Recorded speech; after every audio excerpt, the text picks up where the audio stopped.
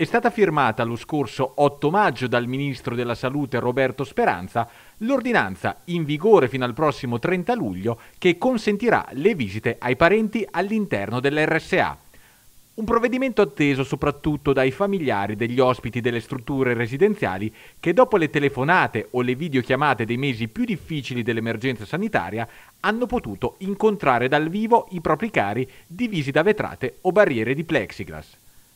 Nel provvedimento sono già state predisposte alcune regole per assicurare che le visite avvengano in sicurezza. Gli ospiti dovranno infatti essere in possesso del certificato verde che attesti l'avvenuta vaccinazione, la guarigione o la negatività al virus comprovata da un tampone recente. Le strutture dovranno programmare gli accessi e per ogni ospite saranno consentiti due visitatori obbligatori ovviamente l'utilizzo di mascherine, la rilevazione della temperatura e la presenza di dispositivi per la disinfezione delle mani.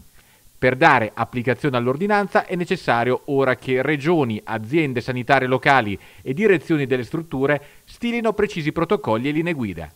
Sul tema sono intervenuti i sindacati dei pensionati SP CGL, FNP CISL e WILP WIL di Pesaro Urbino per chiedere una rapida messa in pratica delle disposizioni del provvedimento al fine di far ripartire quanto prima le visite.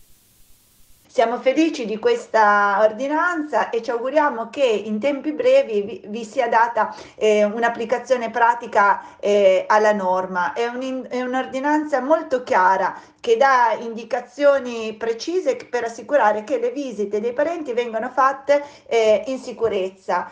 Eh, sono ormai dall'anno scorso, sono passati me- lunghi mesi, difficili mesi, eh, senza che i parenti possano visitare eh, i propri cari mh, nelle case, nelle strutture residenziali. E questo è costata, costa tanta fatica eh, perché sappiamo, sappiamo benissimo che lo stare ehm, rinchiusi da soli, l'isolamento sociale e la solitudine rappresentano per gli anziani un motivo di sofferenza che porta all'ansia, alla depressione e a un conseguente decadimento fisico. E alcune strutture in questi mesi hanno dato vita alle, alle stanze degli abbracci, anche come sindacato abbiamo, assist- abbiamo insistito perché si creassero queste stanze degli abbracci, però ovviamente è sempre un surrogato, è un qualcosa che non ha niente a che vedere con un abbraccio mh, vero